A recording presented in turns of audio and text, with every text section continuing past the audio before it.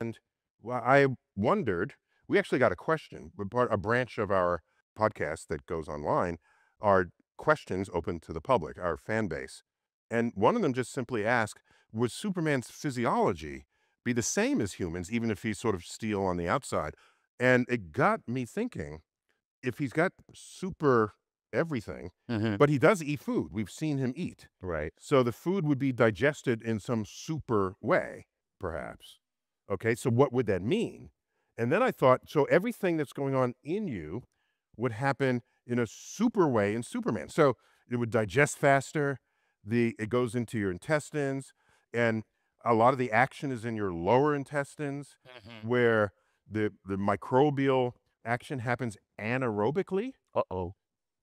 Here we go.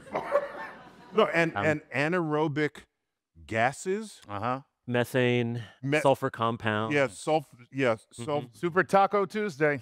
Yeah, so uh, hydrogen sulfide, that's the smell of rotten eggs. Y- You have a methane, which I didn't know this when I was in camp when I was 10, but the, the, my fellow campers were right when they said, Have you ever ignited? Yeah. That Yeah. thing which I mean, must we not can be come on. I mean, I know we're in the Hamptons, but everybody knows what a fart is. Come on.